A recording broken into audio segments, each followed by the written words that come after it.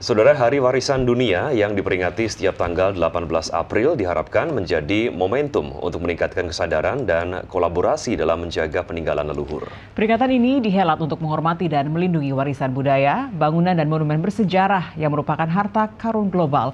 Oleh karena itu perlu dipelihara agar dapat bertahan selama bertahun-tahun.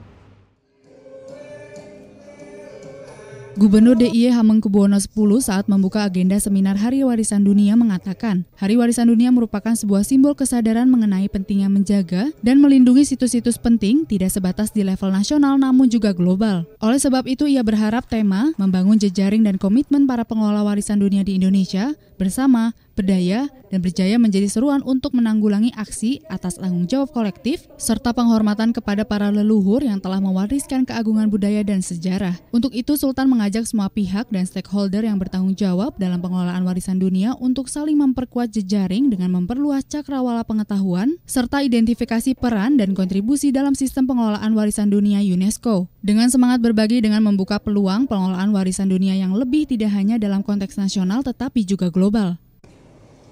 Lebih dari itu, kita berusaha untuk menguatkan pemahaman tentang peran dan tanggung jawab sebagai pengelola dan penjaga warisan.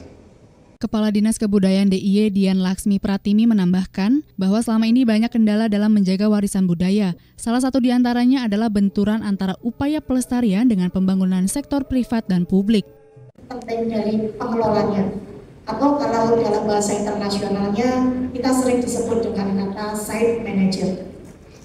Nah, seperti apa pengelola, seperti apa pengelolaannya, seperti apa tata kelola proses bisnisnya, dan bagaimana peran komunitas masyarakat di dalam satu kesatuan sistem pengelolaan akan menjadi bahasan kita bersama. Dengan seminar Hari Warisan Budaya diharapkan ada sebuah regulasi dan komitmen dari semua pemangku kebijakan dalam mengembangkan infrastruktur yang bisa diadaptasikan dengan kultural landscape-nya agar tidak berbenturan dengan kepentingan sektor privat maupun publik. Demikian Agung Nugroho dan Arif Heriawan, TVRI Yogyakarta melaporkan.